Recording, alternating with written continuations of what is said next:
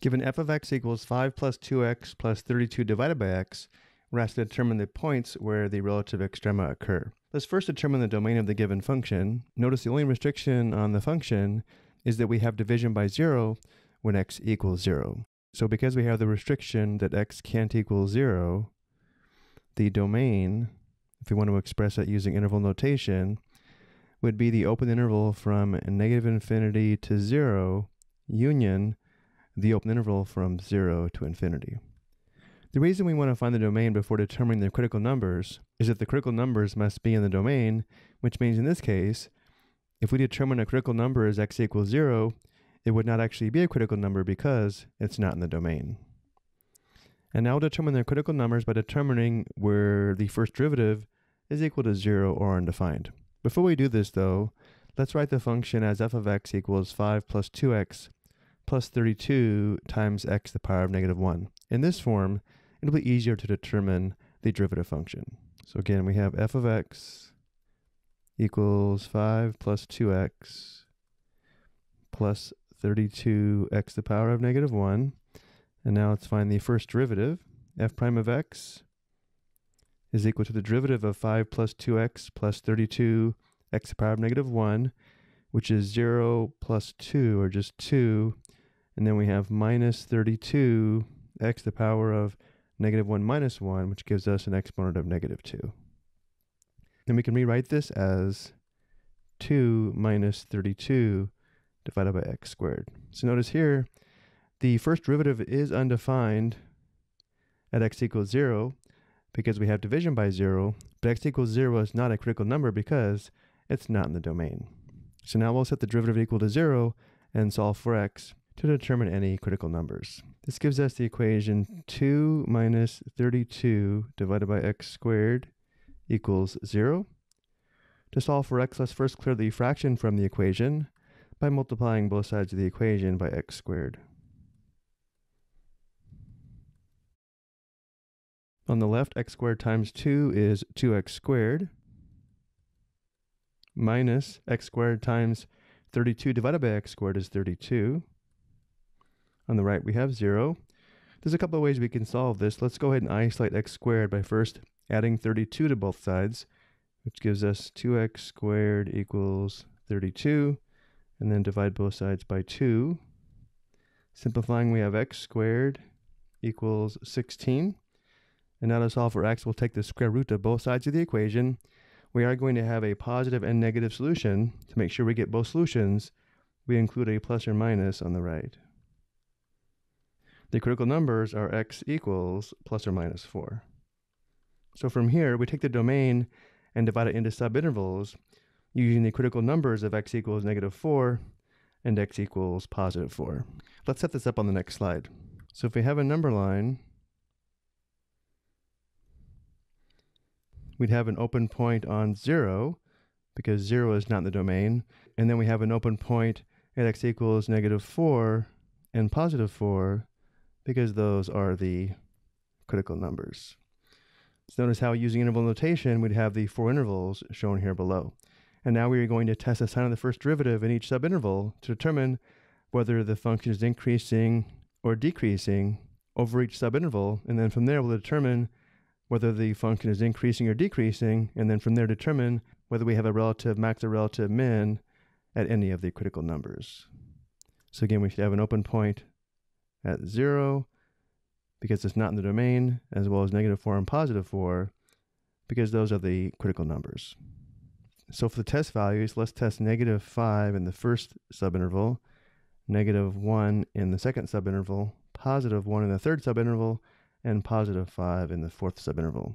So now we're going to sub these values into the first derivative, which remember is f prime of x equals 2 minus 32 divided by x squared.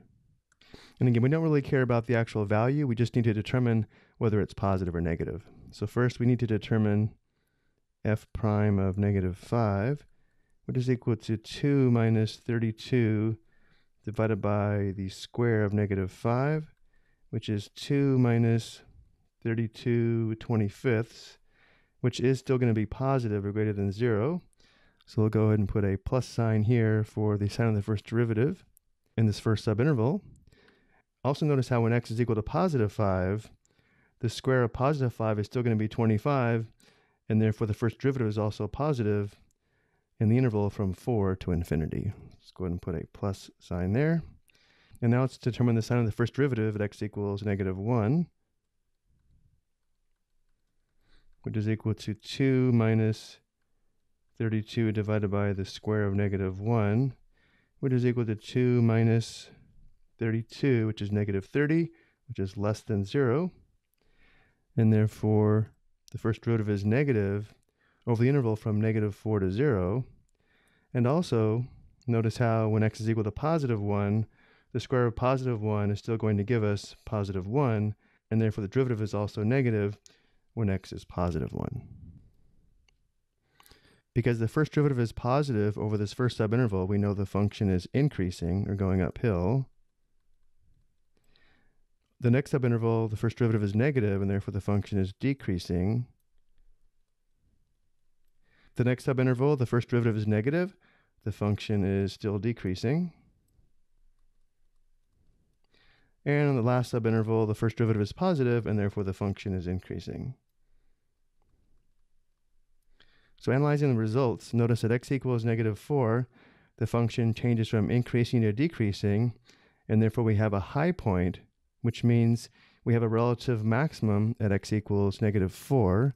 So above, let's list the ordered pair as negative 4, comma. We'll come back and determine the y value or function value. And then notice that x equals positive 4, the function changes from decreasing to increasing, which means we have a low point at x equals 4, indicating we have a relative minimum at x equals positive 4. Hopefully this makes sense. If a function changes from increasing to decreasing at x equals negative 4, we're going to have a high point or a relative maximum. If the function changes from decreasing to increasing at x equals positive 4, we have a low point that represents a relative minimum.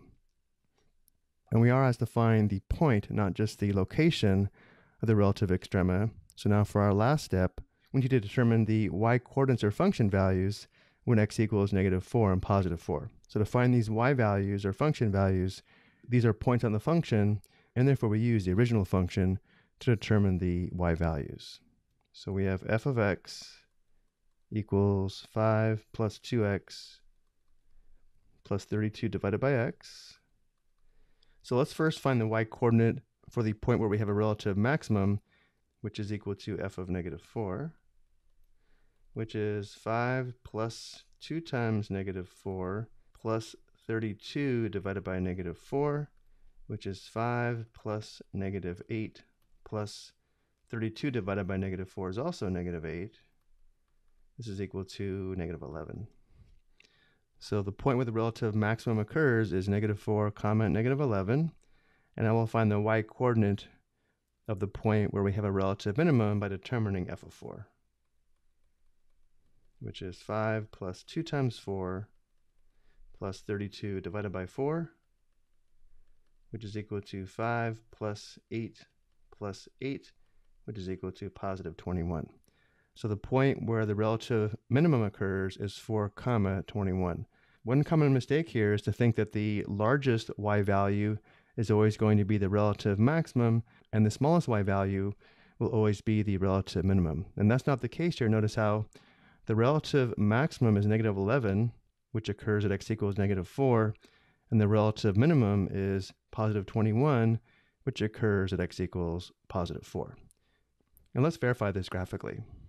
Working our way from left to right, notice how the function changes from increasing to decreasing at x equals negative 4, resulting in a relative maximum of negative 11, and then the function changes from decreasing to increasing at x equals 4, which results in a relative minimum. And notice the relative minimum is positive 21 at x equals 4. I hope you found this helpful.